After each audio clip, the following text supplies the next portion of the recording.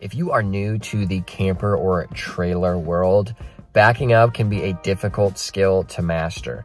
I'm going to show you my simple process for backing up a camper or trailer of any size. First step, make sure your camper is attached. It's the most basic thing in the world, but I've seen way too many videos of people forgetting to hitch up their camper and damaging it. Once you're sure everything is in order, it's showtime.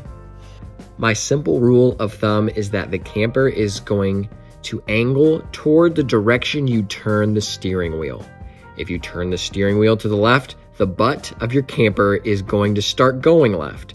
If you turn your steering wheel to the right, the butt of your camper is going to start going right. The more intensely you turn your steering wheel, the quicker the camper will move in that direction.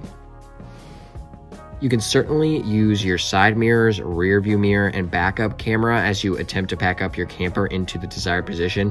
Just remember, when using mirrors, the movements may feel opposite.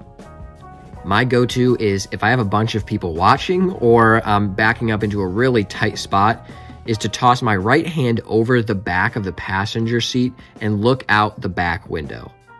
I may also put my right hand on the steering wheel and look out my driver's side window. Both of those methods make the turning feel more natural to me.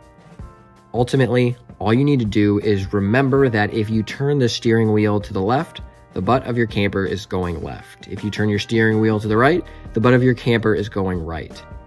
The last thing is just getting out and practicing. Set up a couple cones and practice backing between them.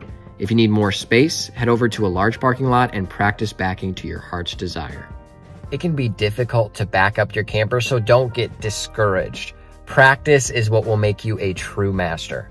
Good luck.